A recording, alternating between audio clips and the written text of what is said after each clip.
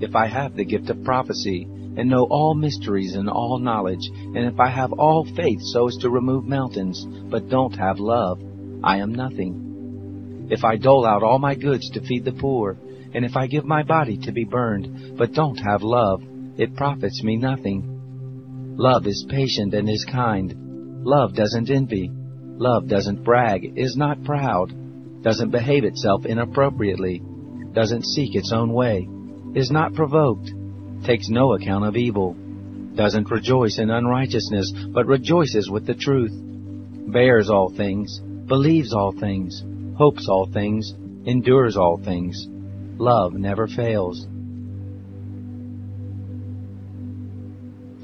But the end of all things is near. Therefore be of sound mind, self-controlled, and sober in prayer. And above all things be earnest in your love among yourselves, for love covers a multitude of sins. Put on, therefore, as God's elect, holy and beloved, a heart of compassion, kindness, lowliness, humility, and perseverance, bearing with one another and forgiving each other. If any man has a complaint against any, even as Christ forgave you, so you also do. Above all these things, walk in love, which is the bond of perfection.